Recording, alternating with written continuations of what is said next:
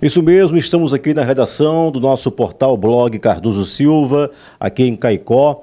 Dizer para vocês que conversamos eh, na noite de ontem, domingo, com o policial rodoviário federal, inspetor Pecunha, que é chefe da unidade da delegacia da Polícia Rodoviária Federal. Ele traz informações exclusivas na nossa reportagem sobre um acidente envolvendo como vítima um patrulheiro da Polícia Rodoviária Federal. No seu trabalho com mais um colega na região de Jardim do Seridó, em uma parada, em uma blitz da Polícia Rodoviária Federal, um jovem eh, foi dada a ordem de parada, ele acelerou, livrou o primeiro policial rodoviário federal e infelizmente atropelou uh, de forma realmente criminosa o policial rodoviário federal que sofreu graves ferimentos pelo corpo.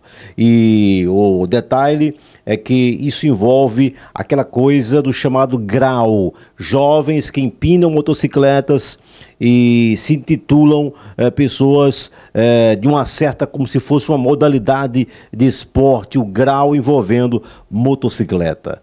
Infelizmente, acompanhe o que disse a nossa reportagem, o chefe do núcleo da Polícia Rodoviária Federal no Seridó, Pecunha, sobre o assunto. Acompanhe.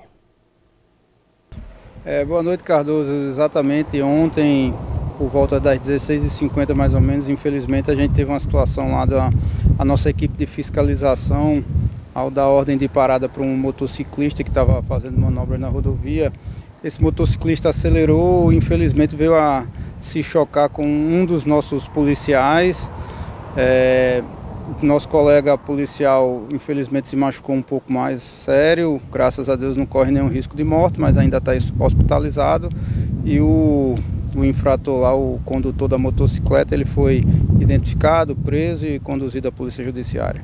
Inclusive, o inspetor teve a preventiva decretada pela Justiça? Isso, positivo. Em, em teoria, foi, foi flagranteado como tentativa de Em teoria não, né? Foi flagranteado como tentativa de homicídio, foi apresentado a, a audiência de custódia hoje, o juiz acatou o pedido do Ministério Público e ele está com a prisão preventiva decretada, ou seja, a prisão sem, sem prazo, né?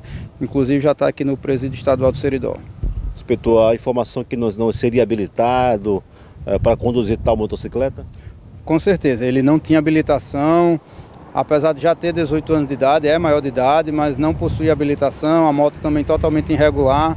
Infelizmente é mais um jovem que, que se fascina com, com o que estão chamando aí de grau, né? Que é essas manobras em motocicletas, que é, é importante a gente deixar muito claro que em certa medida você pode até considerar a exibição, manobras em motocicletas, em veículos, alguma coisa como arte ou esporte que seja. Mas da forma que vem sendo praticada em alguns municípios e por algumas, alguns jovens aqui de Seridó, isso está muito mais associado ao crime do que a uma expressão artística. E aí é importante a gente, enquanto sociedade, ter consciência disso.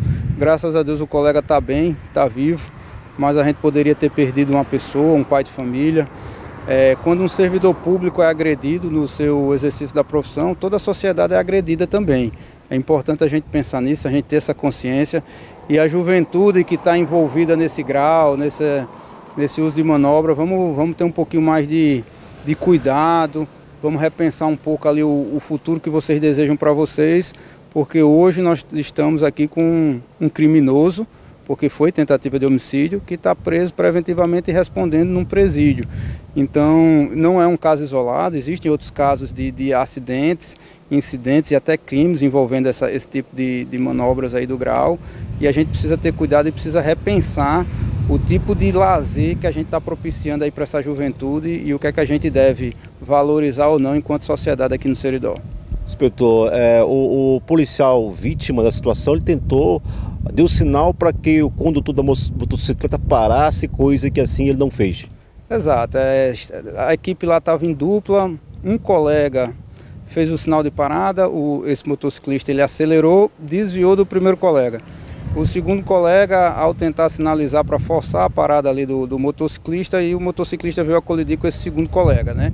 É, é uma situação muito rápida, né? Que infelizmente ali no momento da ação ali, às vezes você até acha que dá para ter alguma situação diferente, mas é tudo muito rápido e infelizmente o resultado não foi o pior, mas foi um resultado trágico para a Polícia Rodoviária Federal aqui do Rio Grande do Norte, é um policial ferido em ação, em serviço, é sempre muito triste.